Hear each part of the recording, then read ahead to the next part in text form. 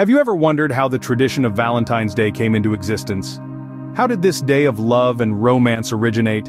Well, buckle up, because we're about to embark on a journey through time, tracing the roots of Valentine's Day. Our story begins in ancient Rome with a festival called Lupercalia. Held in the middle of February, Lupercalia was a celebration of fertility and springtime, but it wasn't all roses and chocolates, in fact it involved animal sacrifices and matchmaking lotteries that today might seem a bit, well, unconventional. As the Roman Empire became more intertwined with Christianity, the pagan festival of Lupercalia began to lose favor. Around the end of the 5th century, Pope Gelasius declared February 14th as St. Valentine's Day in an attempt to Christianize the celebration.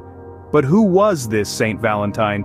There are several legends surrounding this mysterious figure, but one of the most popular ones tells of a priest who defied the Roman emperor's ban on marriage for young soldiers and continued to perform weddings in secret. Fast forward to the Middle Ages, and Valentine's Day had evolved into a day for lovers to express their affection. It was during this time that the first Valentines were exchanged.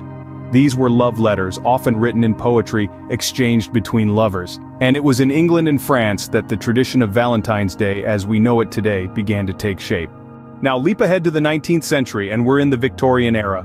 This is when Valentine's Day really took off, especially in America. As printing technology improved, mass-produced Valentine's Day cards hit the market, making it easier than ever for people to express their love. In the 20th century, the commercialization of Valentine's Day continued to grow.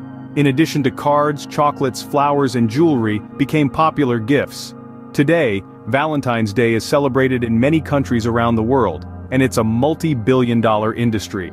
So there you have it, a whistle-stop tour of Valentine's Day history. From its origins in ancient Rome to the modern-day celebration of love and romance, Valentine's Day has certainly come a long way.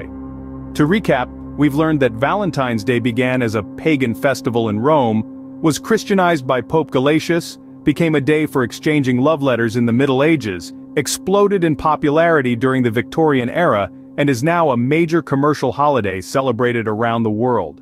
And while the traditions and customs may have changed over the centuries, the essence of Valentine's Day has remained the same, a day to celebrate love in all its forms. So whether you're a fan of Valentine's Day or not, it's hard to deny its fascinating history, until next time.